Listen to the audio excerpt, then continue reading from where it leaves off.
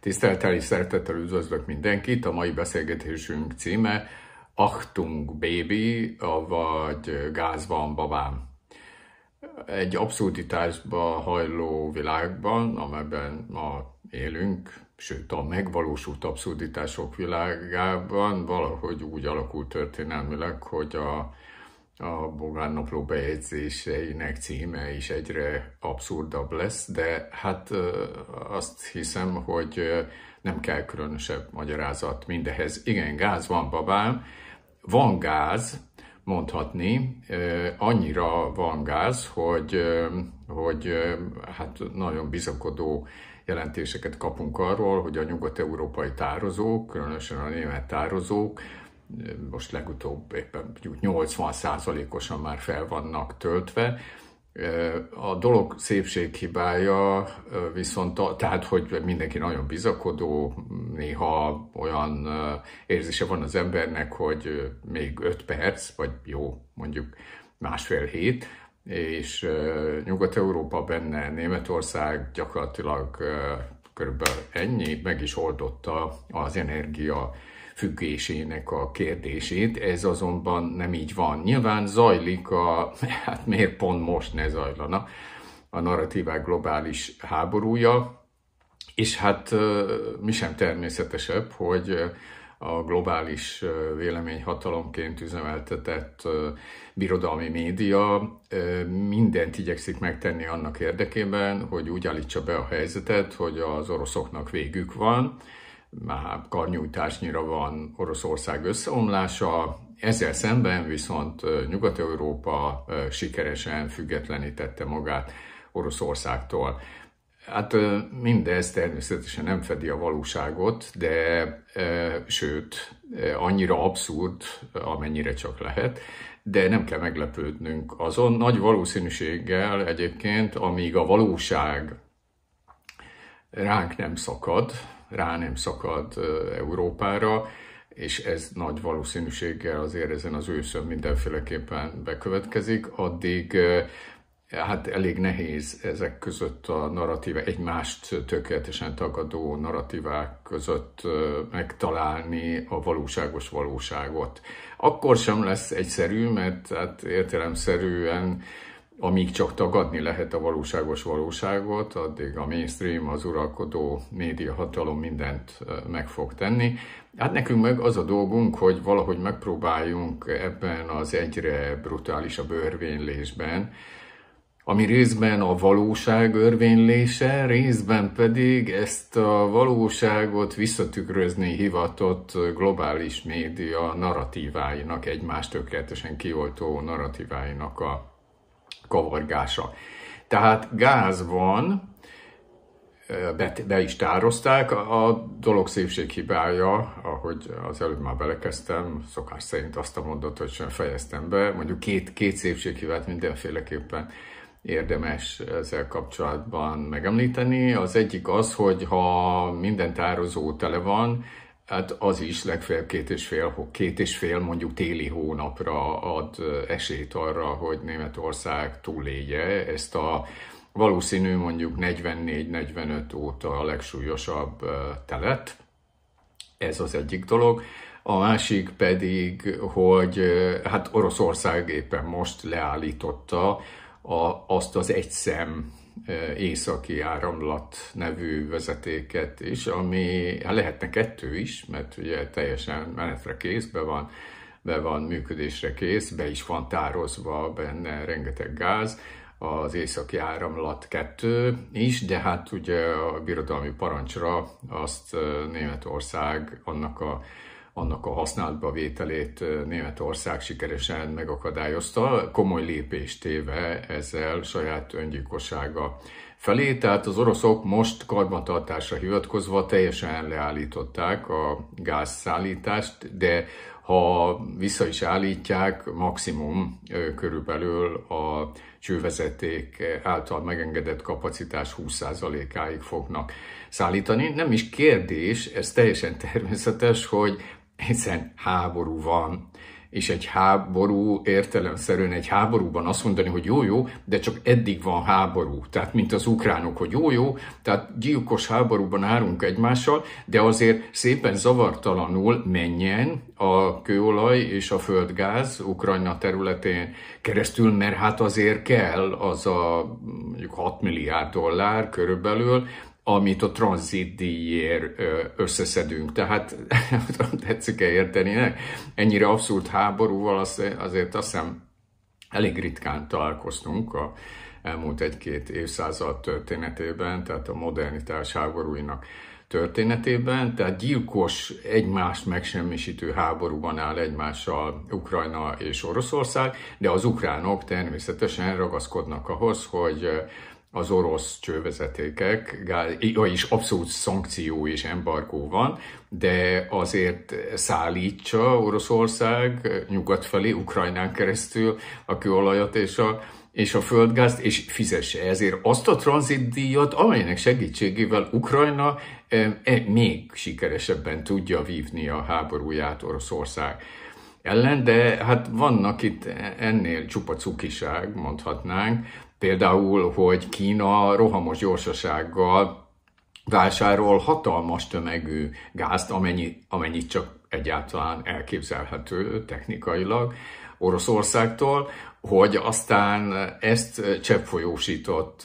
földgázként, persze méregdrágán eladja Nyugat-Európa számára, hogy Nyugat-Európa ezen a módon, tehát nem tudom, tetszik-e érteni, tehát ott Szibériában átmegy a gáz Kínába, Kínában az erre szakosodott kikötőkben cseppfolyósítják, megkerülik a félvilágot, és mondjuk eljutnak Rotterdamba vele, ahol ahol mondjuk a normális, az északi áramlat kettőn áramló normális gáz mondjuk 25-szöröséért fogják eladni, de hát hogyha élethalál kérdés lesz a gáz, már pedig rövidesen az lesz, Nyugat-Európa számára, akkor pénz nem számít, a 25-szörös árat is ki fogják fizetni. És hát természetesen az orosz kőolaj hát kreatív felhasználására is már hatalmas iparág szerveződött, líbiai és egyiptomi kikötőkben rejtett módon, a rossz nyelvek szerint némi izraeli rásegítéssel is, nem is már nagyon, nagyon az ember, na jó, ezt a mondatot el se besegítéssel, zajlik az orosz olaj tankerekből való átfejtése, hogy azt mondjuk egyiptomi, hát leginkább egyiptomi, hát ugye a libiai olaj se nagyon mehet világpiacra, tehát az, az is Egyiptomon, Egyiptomnak van átszázva, és most már az orosz olaj is hatalmas mértékben növekszik annak az orosz olajnak a mennyisége, amelyeket ott fejtenek át. Hát persze némileg kicsit költséges, a mutatvány, és hát ami, ami nekem a legjobban tetszik, hogy csak úgy mellesleg derült ki, hogy az elmúlt fél év során az embargók és szankciók mennydörgés-szerű főelőadója, az amerikai birodalom, Eddig, tehát a háború kitörése óta, tehát nagyjából fél év alatt több mint 6 milliárd dollárért vásárolt orosz kő, közvetlenül orosz kőolajat, és hát ennek körülbelül a fele kőolaj, a másik fele pedig stratégi, különböző stratégiai, olyan stratégiai nyersanyag, leginkább mondjuk a palládium, titánium, egyebek, amelyekre hát a jelek szerint azért az amerikai birodalomnak is szüksége van. Tehát, tehát ennél abszurdabb világháborút, bár hát fene tudja, mert hát elképzelhető, csak nem ismerjük ezeket a titkokat, hogy az első, sőt második világháborúnak is volt egy ilyen diszkrét bája, ha látnánk valami különleges szerkezettel, talán vannak is ilyen elemzések, amelyek ezt a rejtett mély szerkezetét is leírják ezeknek a háborúknak. Szóval háború, háború, gyilkos háború, de azért a business as usual. Na jó, akkor azért menjünk tovább, mert gáz van, ahogyan azt a színben is jeleztem, de azért talán nem teljesen mindegy, erre már céloztam is az előbb, hogy milyen áron van ez a gáz. Nos, kétségtelen, most az újongó német hírek hatására némire csökkent a gázár, a, a, te ugye Rotterdam, tehát a Hollandiában van a Európát ellátó gázrendszereknek a, a meghatározó tőzsdéje, ahol az európai árak kialakulnak, és ott egészen az elmúlt néhány napig nagyjából olyan forintba átszámítva, nagyjából 1500 forintnak megfelelő összeg volt egy, egy köbméter földgáz, csak összehasonlításul. Hát ez most lement 1350 forintnak megfelelő összegre, csak összehasonlításul, aki továbbra is átlag alatt fogyaszt, az Magyarországon 102 forintot fizet egy köbméter gázért, ha pedig fölé megy, akkor 747 forintot. Ehhez képest a meghatározó árbázis, a Rotterdami gáz tőzsdén, ami meghatározza általában az európai árakat. Most ugyan 1500 forintnak megfelelő összegről 1350 forintra csökkent, és még így is 13 és félszerese annak az árnak, amit a magyar fogyasztók fizetnek, ha átlag alatt maradnak. De minden előrejelzés szerint, pláne hogyha keményebb tél lesz, akkor a decemberi jegyzés már akár 2000 forintnak megfelelő köbméter gázt vetít előre, és ha tényleg nagyon kemény tél lesz januárban is, és elnyúlik januárban és februárban is, és a háború újabb és újabb fordulatai hát nem, nem igazán kedveznek a világ általános lelkiállapotának, akkor pedig akár 3000 forintig is emelkedhet egy köbméter gázára. Még egyszer mondom, itt Magyarországon jelenleg az átlag alatt fogyasztók 102 forintot fizetnek azért az egy köbméter gázért, amelynek ára akár a 3000 forintot is elérheti majd Nyugat-Európában, hát lesz nagy öröm nyilván, és hát az teljesen természetes, hogy ezért kizárólag Oroszországot, illetve személy szerint az orosz elnököt illetik kritikával. A világon semmi jel nem utal arra, hogy a nyugati társadalmi, gazdasági, politikai és média elitekben a reflexív viszony minimuma is kialakult volna. A dolog azért megdöbbentő, mert, és hát nekem, meg hát gondolom magunk fajták számára, igen nagy segítséget jelent, hogy a magyar származású stratégiai elemző, amerikai, de elismert, globális szinten is elismert mainstream stratégiai elemző, kifogástalan globális pedigrével rendelkező George Friedman, és akkor ezt szó szerint idézem ezt a mondatot, amit hát akár én is leírhattam volna mondjuk az elmúlt fél év során, talán le is írtam hasonló mondatot. Tehát ez a mondat így hangzik, ő a birodalom nevébe azonosul a birodalommal, hát amerikai stratégiai elemző, és szó szerint a következőt írja egy legutóbbi elemzésében. Az amerikai Egyesült Államok egy évszázadon belül most már a negyedik háborúját vívja. És aztán zárójelben hozzáteszi, hogy az első világháború, a második világháború, a hidegháború, mint valamiféle harmadik ilyen háború, és most ez már a negyedik, ami, ami a felszínen, ezt már csak én teszem hozzá, ő csak annyit ír, hogy az ukrán-orosz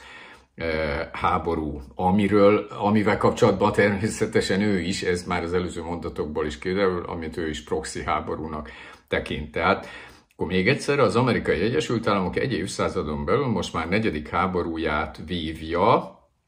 annak érdekében, és itt a lényeg, és ez egy amerikai stratégia jellemző, a birodalommal azonosuló stratégia jellemző írja most, annak érdekében vívja most már negyedik, nagyjából egy évszázadon belül, negyedik háborúját az amerikai Egyesült Államok, hogy megakadályozza Németország és Oroszország békés együttműködését, mert ez az egyetlen erő, ami igazán fenyeget minket, írja George Friedman. És világossá kell tennünk, hogy ennek bekövetkeztét, mármint a német-orosz együttműködésnek a bekövetkeztét, bármilyen áron meg fogjuk akadályozni. Én azt hiszem, ehhez semmiféle kommentár nem kell. Ha most felidézitek az elmúlt fél év történetét,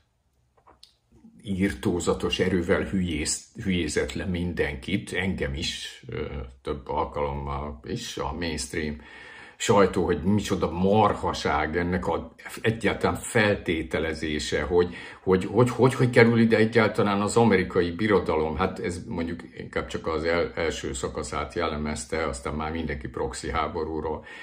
beszélt, e, és egy fél év kellett ahhoz, hogy kiderüljön, hogy maguk a stratégiai elemzők is nyíltan közé is teszik. Igen, igen, gyerekek, 110 éve, mondjuk akkor 1914-től, vagy 108 éve, 1914-től kezdődően, ez most már a negyedik háborunk, annak érdekében, hogy bármilyen eszközzel, és ezen hangsúly van, megakadályozzuk Németország és Oroszország együttműködését, mert ez az egyetlen erő, ami megsemmisíthet minket, pontosabban fenyeget minket globális értelemben, mondja ezt a birodalom nevében, írja ezt a birodalom nevében George Friedman. És ahogy már számos alkalommal beszéltünk róla, valóban erről van szó. Az első világháborút is, ez ugye a német császár és az orosz cár levelezéséből egyértelműen ki is derül, ott közvetlenül a háború kitörés előtt, hogy minden, mindketten látják, hogy csak ócska kis jelentéktelen bábfigurák, és semmiféle esélyük nincs arra, hogy ez a háború elkerülhető legyen. Ugyanezt történik a második világháborúban, a Molotov-Ribbentrop paktummal ugyan tesz egy bágyat kísérletet az ezer éves német és orosz birodalom leginkább távlatosan gondolkozó elitjeinek egy része, hogy, hogy de most miért kellene megint földig rombolnunk egymást, mi lenne, ha összefognánk és együtt fordulnánk szembe ezzel a bizonyos nem létező erővel. A birodalommal, de aztán szépen mégiscsak engedelmesen földig rombolják egymást, és ez így nagyon érdekes, amit Friedman ír, hogy hogy tulajdonképpen a harmadik ilyen háborúja Amerikának, a hidegháború volt, mert a hidegháborúban is, ha most felidézzük a 60-as, 70-es, főként a 70-es éveket, amikor már azért enyhülés, ugye détan, francia, francia szóval megnevezve, az enyhülés politikája elkezdődött, akkor azért Németország és a Szovjetunió között valóban igen intenzív gazdasági kapcsolatok alakultak ki,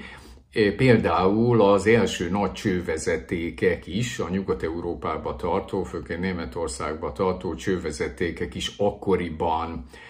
kezdtek létrejönni, és már akkor is volt amerikai birodalmi embargó, mert azért ezek különleges csövek voltak, a Szovjetunió technológiailag nem igazán volt képes ezeknek a csöveknek az előállítására, legalábbis nyugati technológia nélkül semmiféleképpen, és az amerikai birodalom bizony a 70-es években is már mindent megtett annak érdekében, hogy ezek a csővezetékek semmiféleképpen ne tudjanak kialakulni, tehát különböző embargókkal, szankciókkal, nyilván mondva csinált embargókkal, szankciókkal már akkor is Friedmannak teljesen igaza van, mindent igyekezett megtenni, hogy Németország és Oroszország sikeres, békés, kölcsönös előnyökön nyugvó együttműködését megakadályozza. És hát most is ezzel kezdődött a történet, hogy az amerikai birodalom egyre határozottabban jelezte, már 17-ben egyértelmű fenyegetések közepette azt, hogy mindenféleképpen